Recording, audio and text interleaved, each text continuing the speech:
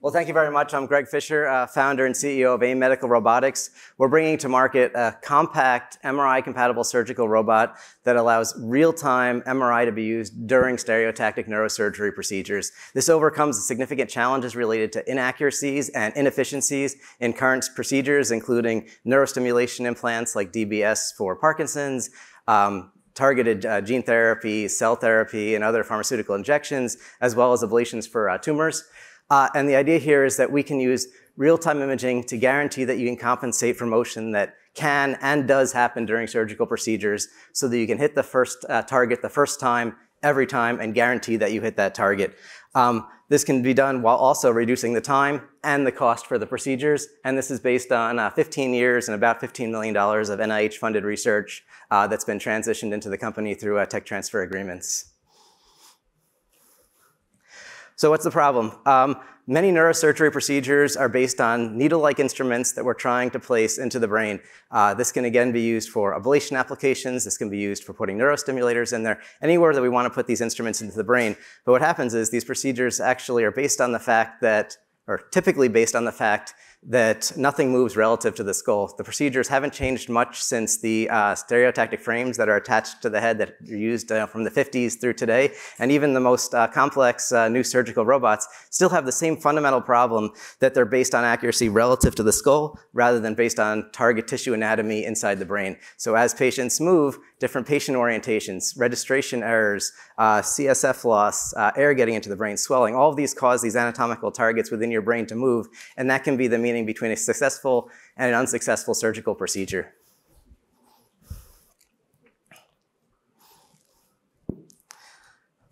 So AIM's looking to, neuro, uh, to revolutionize neurosurgery by enabling real-time imaging, soft tissue imaging during surgical procedures to guarantee that you actually perform this procedure the way you intend to perform that procedure, while at the same time reducing the time it takes to do these procedures, reducing the cost to do these procedures, and reducing the error rates. And one of the issues you'll notice is up to 34% of uh, DBS lead placements for uh, Parkinson's actually have to be removed or revised, about half of those due to uh, misplacements. And because of that, only about 15% of patients these days that are actually really good eligible patients do this due to patient hesitancy. So there's a huge opportunity not only for new applications and new growth, but to actually capture this uh, portion of the population that really need these procedures, would benefit from these procedures, but are reluctant to do it due to the challenges.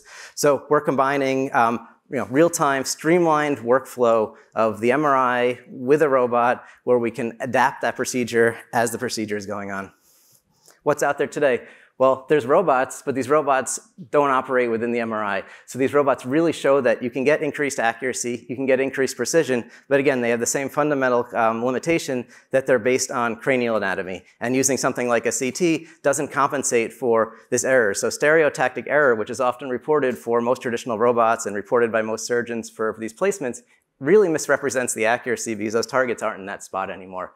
Um, and then there's systems out there um, like the ClearPoint that I'm showing here that in my mind really paved the way for putting MRI-guided procedures into the mainstream, right? There is a clinical need, there is a demand for it, but I think there's a huge opportunity to build upon this and take the advantages of robotics coupled with the advantages of MRI. And by doing this, we can make procedures that can be much faster, much less expensive, uh, and also can scale well to multiple targets. So if you're doing deep brain stimulation for Parkinson's, often they're bilateral, two procedures. Uh, I was recently at the NANS conference, and now they're scaling up to potentially you know, four leads in some cases to hit multiple targets. And sometimes we're also adding additional leads for sensing. So now you're looking at six leads. If you look at something like um, targeted drug delivery, that can be six, eight, sometimes 10 targeted injections. So having a robot that can scale and very effectively do these procedures fast is very, very important.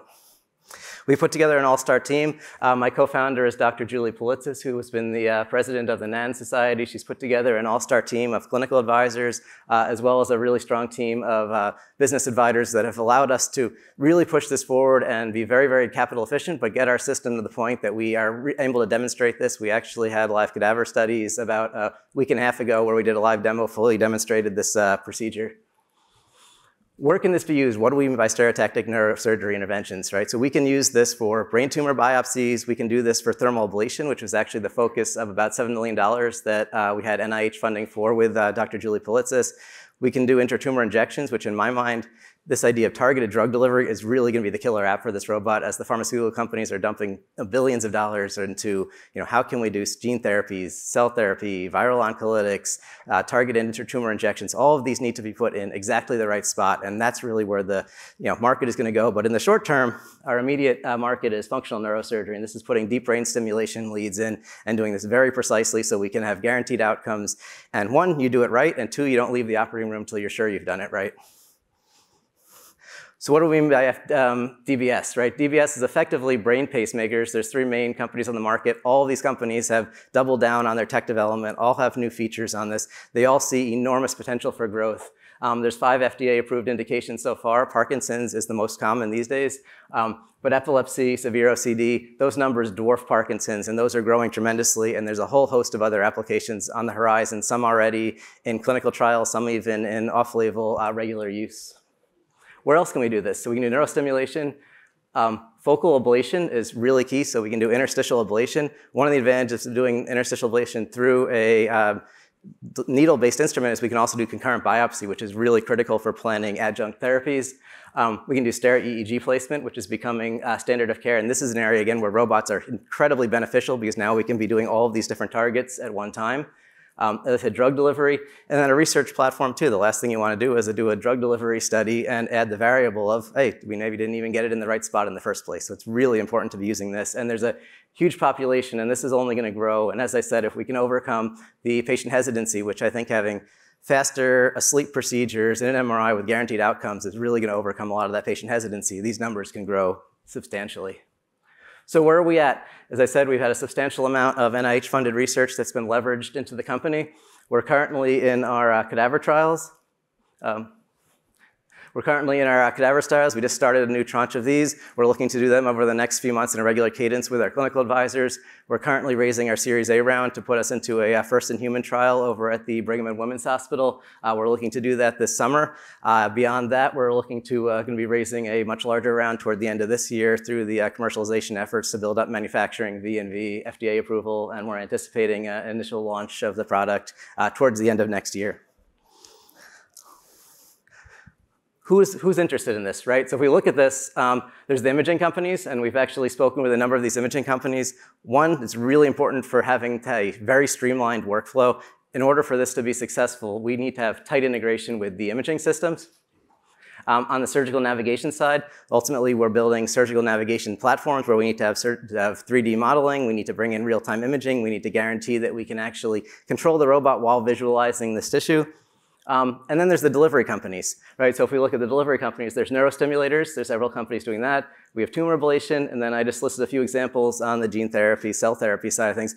All of these are companies that would be interested in what we're doing for either licensing deals or ultimately acquisition, as well as sales channel partners. And I'm not just throwing up names. The large majority of these we've spoken with. Some of them we're actually actively in partnerships with these days. We have a revenue model that can come in from capital, sales of the robot, through annual service, as well as consumables. Uh, so while we can still come in substantially uh, less expensive than the uh, other competitors on the market, there's still substantial potential for revenue. And the big value proposition to the hospital is that if we can take this all day a procedure for, let's say, using microelectrode recording for DBS lead placements, it takes six plus hours drop it to a two or three hour procedure that can be done in the MRI scanner, now you can do two to three procedures a day. So it's not a new reimbursement code, but we can increase uh, throughput substantially as well as having much, much better outcomes. Um, and one thing I want to point out is, you know, while we're in robotics, we're not competing with all these soft tissue robots that there's a huge number of folks on the market. This was not a crowded space. There's no clear market leader and there's a huge opportunity. So it's real. We've done cadaver studies. This is an example in the operating room on the right, because as we, uh, as we said, this can work in the MRI, but also in the operating room, it's really important because we can have this flexibility and allow this system to be used in every space. So we can use this robot in the operating room, we can use it in the MRI, and in the MRI, we also get the added benefit of real-time imaging. Um, we've had a previous seed round. We've raised uh, $1.5 million in uh, convertible notes towards our A round. We're looking to close out our Series A in the next couple months. We have a substantial amount of uh, IP around this technology, both around the neurosurgery robot as well as much more broadly around MRI guide intervention. So ultimately, we really see this as a platform play all over the body. Um, and as I said, there's a huge number of applications that where we can use this well beyond uh, deep brain stimulation. So uh, thank you very much. I really appreciate everybody. And the one thing I just want to leave as a final point is, you know, one robot. It can be used in multiple different modalities. Uh, there's a lot of companies that will be interested in this, both for partnering with us, for distribution, as well as for ultimately acquisition down the road. Uh, there's a substantial market even just for Parkinson's disease alone, let alone all these other key applications. Uh, and we're currently doing our uh, Series A uh, fundraise, ultimately followed by a much larger round toward the end of the year. So thank you very much. I appreciate it.